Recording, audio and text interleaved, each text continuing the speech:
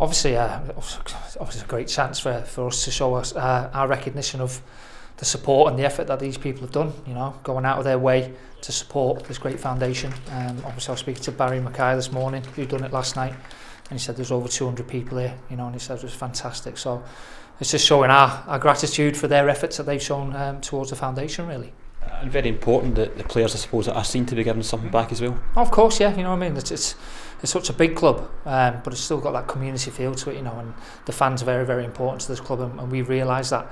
And uh, obviously, every chance that we get to recognise that, uh, the lads will turn out in force. It makes it really special. It's good that it's uh, charities that it's actually going towards, you know, it's really, really good that, you know, it's helping all these other people makes me feel really proud, you know, to be a Rangers fan and to know that the club are actually doing this for all the charities as well. Yeah, I think the work the Charity Foundation does is fantastic, Nick. Um, they help so many different organisations. Um, obviously, the sleep out was to help the, the homeless in the in the city of Glasgow and round about.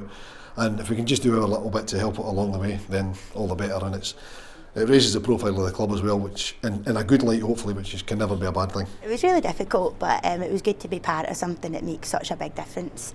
Um, and I know that the mission themselves make such a big difference to people in the street, so it's really important that we took part. Fantastic too to you'll get the whole experience of, of the club and tonight you're getting recognised as well. Mm-hmm. Yeah, oh, it's exciting, it's very exciting and it's nice to be thanked as well. So, no, that sounds really wrong, but it's nice to, you know, be appreciated in the work that we do. Uh, it's really nice. You know, they, they do a lot for for um, for the club. You know, they do they raise a lot of money um, for the club, and they they do their bit. So it's always nice to show up for these events and um, really show them that uh, you know everything they do is uh, taken into account. Absolutely, and the, the, the, playing squad are all right behind the charity foundation at all times, and, and, fantastic to see that united spirit through the club. Oh, for sure. You know, I think unity is what you need in a club, uh, from the fans all the way through.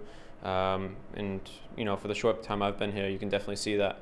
Um, so it's always nice to um, be with the fans and um, you know show them that you appreciate them.